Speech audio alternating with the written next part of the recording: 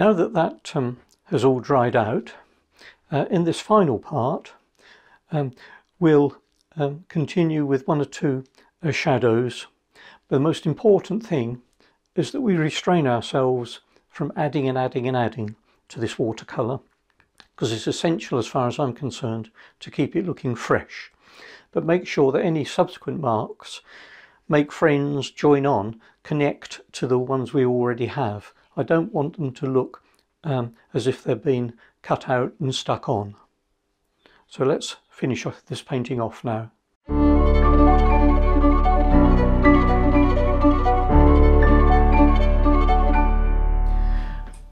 Right, now let's, um, we'll just do a little bit more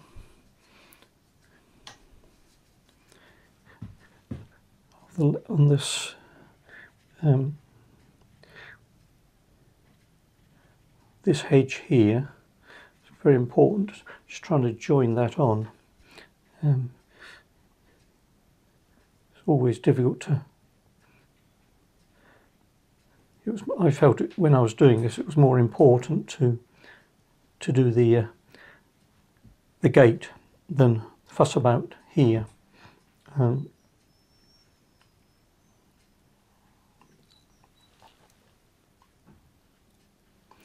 Now the distance, let's have cobalt and light red.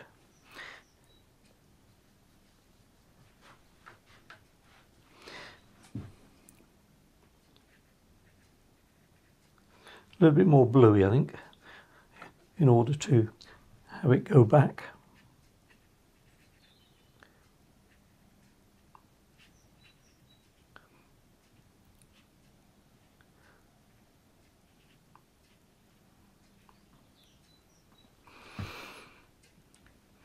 And then we've got this near tree or bush rather on the left hand side. Burnt sienna and viridian.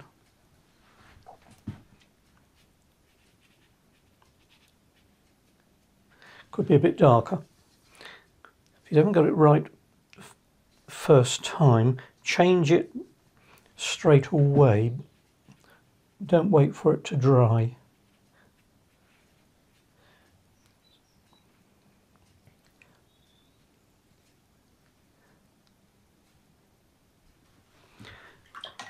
Raw, raw umber, just make it a little bit lighter, keep changing this. Um,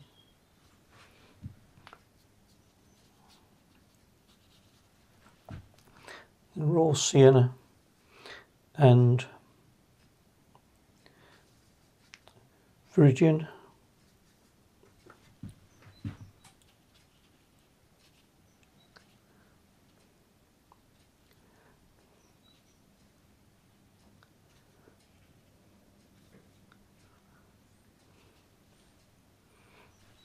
There's a sort of sapling or something growing out here, which is nicely sort of pushes the eye into the picture.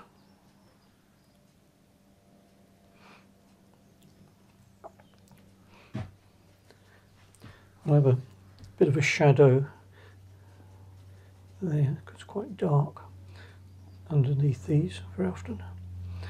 And then we can introduce some shadows across here.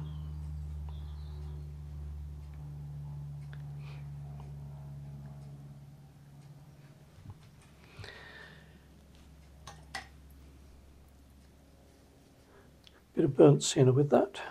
Make the shadow a little bit warmer. Come across here.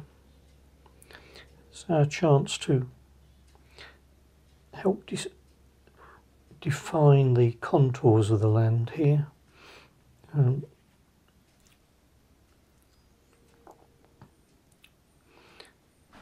and then it'll go sort of up the, the bank here. These are shadows from sort of trees over my left hand shoulder and they nicely point towards the, um, the, the main area of interest really, the, which is the um, which is the gate. I think we, we all tend to look at the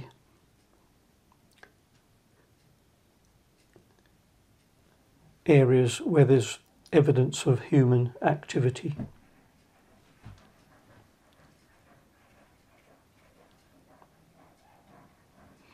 And in this case, it's only the gate. Um, bit of raw umber. Just to give an edge on that.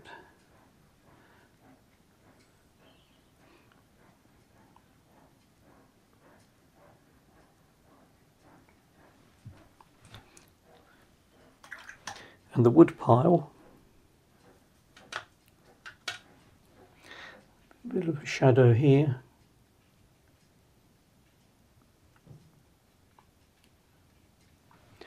And a little bit of drawing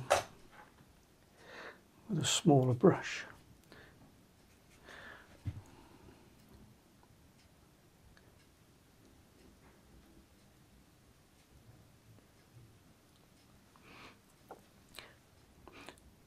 It's on the edge of the picture, so it, it's very much a case of just indicating it could be something even if the viewer may not be able to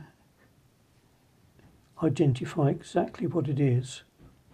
I want to sort of satisfy their curiosity, but I don't want to arouse it too much.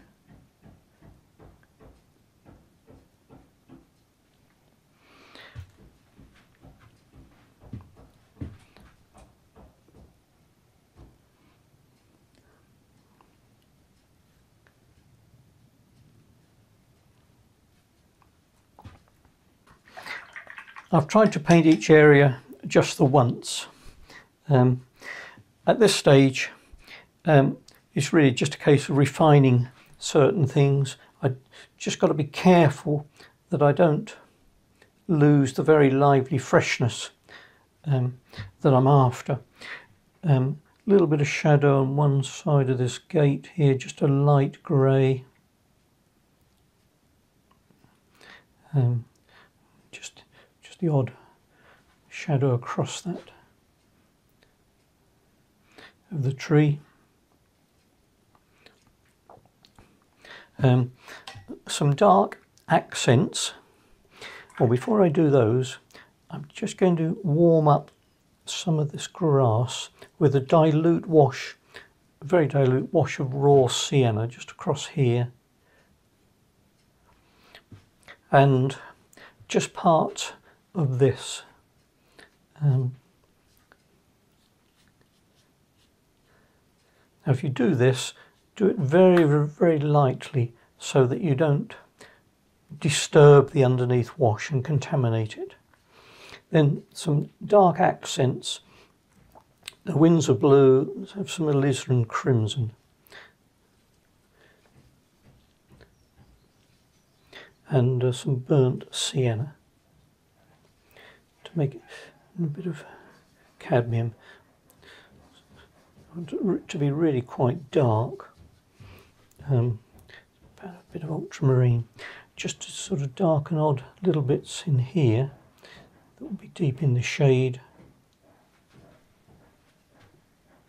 There, there. Just smudge the so that they join on to the to the rest of the picture really. If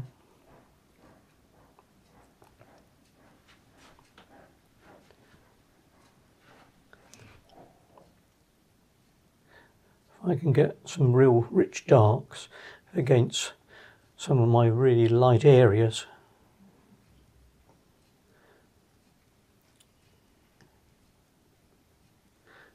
then it will show them off a little bit more.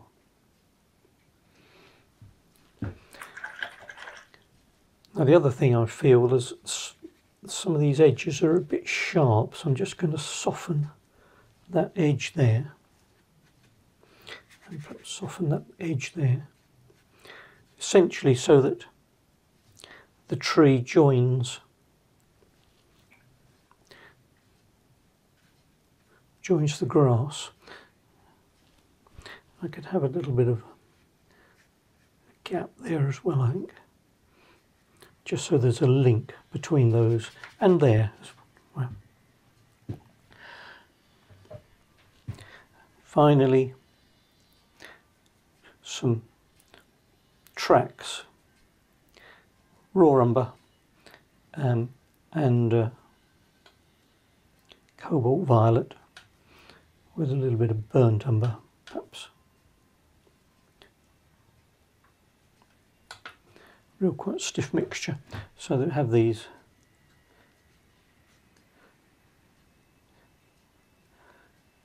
a little bit of texture on this foreground here.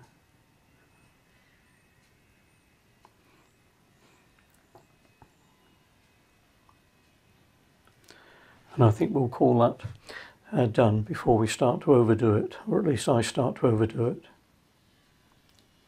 Well, thanks for watching this series of three videos. I hope you've enjoyed it, and it will encourage you to adopt this carefree approach to painting watercolours um, on a simple scene. Um, it's a good advice, I think, to um, take a simple scene, simplify it and paint it simply in order to retain that nice, clean, fresh, loose look. So make sure that when you do this, you um, restrain yourself a bit, but also enjoy um, the painting process. Thanks again for watching.